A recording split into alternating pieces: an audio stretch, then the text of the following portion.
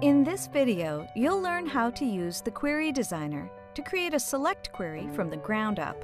You'll select the data source along with fields from that data source. As needed, you'll add criteria to filter the results, making sure your data types match. Then you'll run the query and adjust the view of query results to show what you want to see. Our query will answer this question. How many orders did Tailspin Toys place last month? Let's get started. On the ribbon, select Create, then Query Design. This starts the Query Designer. You can use the Show Table dialog box to add tables or queries as a data source, or you can just drag a source over from the navigation pane. Let's use the Orders table for our data source. To answer our question, we specifically need customer names and order dates. You can double-click to add a field to the design grid down here, or you can drag it. If you run the query now, you can see it returns every order for every customer, and you can use the filtering tool here to narrow the results.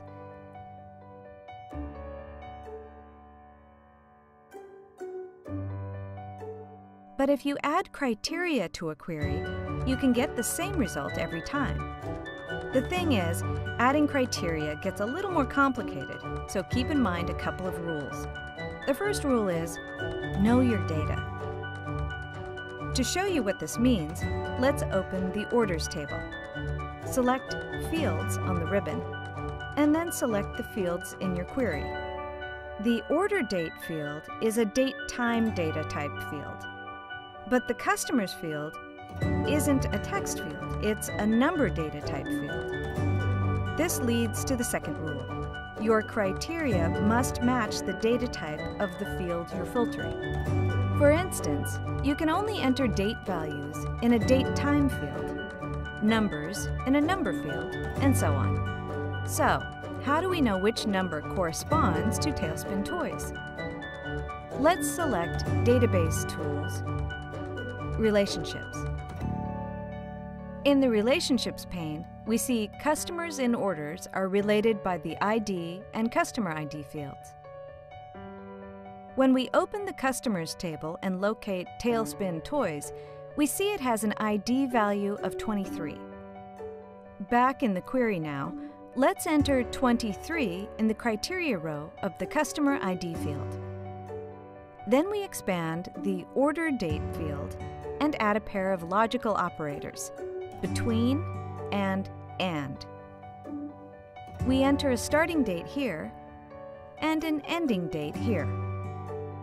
Notice that we surround the date values with pound signs.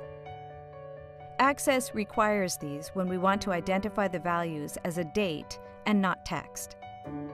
Run the query, and now we get the results we were looking for just the orders placed by Tailspin last month. Now let's go back and look at the Query Designer for a minute. Do you see these checkboxes? If you clear them, you hide your field from the result, like so. The field is still in the query, you just don't see it in the results.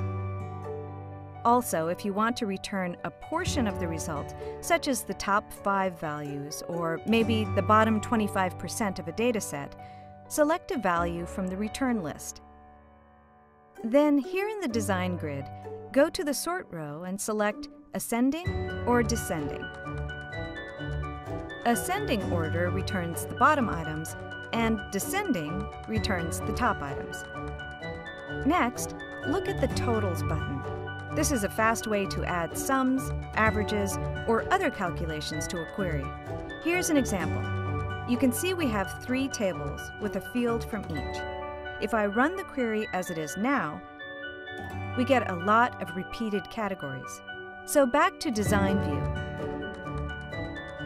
Select Totals, and notice that Access adds a total row to the query grid and sets all three fields to Group By.